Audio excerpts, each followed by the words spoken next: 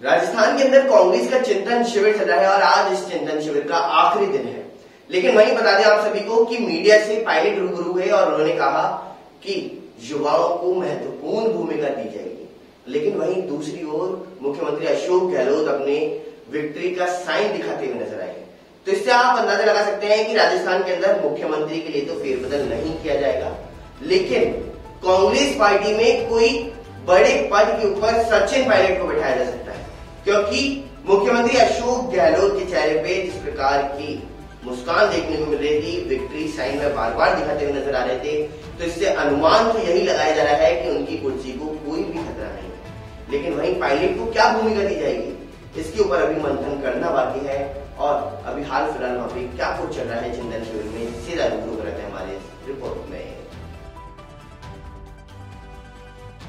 एक बार फिर पूर्व उप मुख्यमंत्री सचिन पायलट और सीएम अशोक गहलोत के बीच कोल्ड वॉर शुरू हो गया है।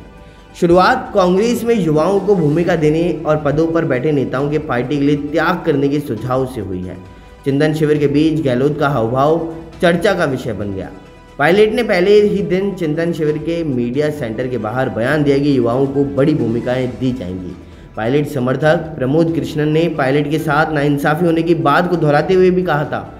कि हाईकमान की अब इंसाफ करता हुआ नज़र आएगा। इन बयानों के दो घंटे बाद सीएम अशोक गहलोत ने मीडिया सेंटर में आकर के विक्ट्री साइन दिखाया। उन्होंने इशारों ही इशारों में साफ़ कर दिया कि फ़िलहाल वह टेंशन फ्री हैं। गहलोत अपने समर्थक, राष्ट्रीय महासचिव रणदीप सिंह सुरजेवाला और कांग्रेस प्रदेश अध्यक्ष गोविंद सिंह डोटासरा के साथ में चिंतन शिविर के मीडिया सेंटर पहुँचे। देश प्रदेश के सैकड़ों मीडियाकर्मियों की मौजूदगी में गहलोत ने काफ़ी देर तक विक्ट्री साइन दिखाया।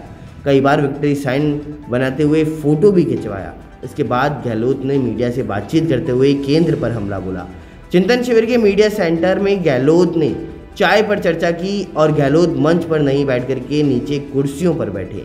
सेंटर में इस दौरान मीडिया कर्मियों की भारी भीड़ हो गई और इसके बाद गहलोत ने मंच पर जाकर के मीडिया सेंटर में भीड़ के नज़ारों का वीडियो बनाया।